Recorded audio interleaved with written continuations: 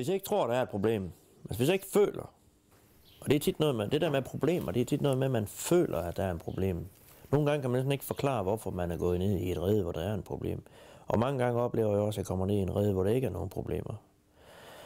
Øh, men under normale omstændigheder, så går jeg først i en, en rede med mink øh, valve omkring fjerde dagen efter fødsel. Og så går jeg ned og ser, hvor mange de er, og kigger på, om der, om der er problemer, om de trives. Det var en minkvalg, der lå ude, og øh, normalt ville jeg ikke have set den. Men øh, fordi jeg vidste, at øh, jeg har faktisk haft nogen i kuvøsen fra den mink her en gang i dag. Og vidste også i går. Så derfor gik jeg ned og flyttede der halen, fordi jeg, kunne miste, jeg havde mistanke om, at der kunne være noget galt. Og det er der også. Nu ser jeg, her ligger en lille kold valp. Og øh, den er godt nok kold. Men den er stadigvæk levende. Sådan en, den lægger jeg så hen i kuvøsen. Og så når den ligger derhen i kvarter 20 minutter, så er den klar igen. Det, deres moderinstinkter er simpelthen så stærke, at det betyder næsten ingenting, hvad det er for en øh, valg, de har nede ved sig. Det betyder ingenting.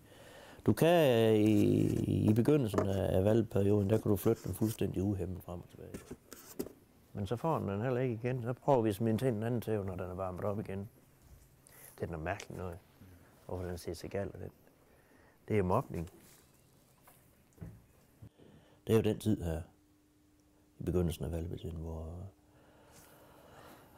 det er jo rimelig koncentreret.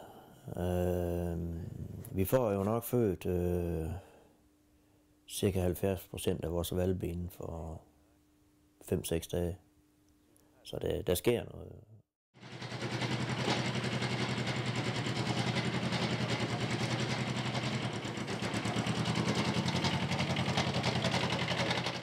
Øh, stort set består foder til mink af øh, spildprodukter.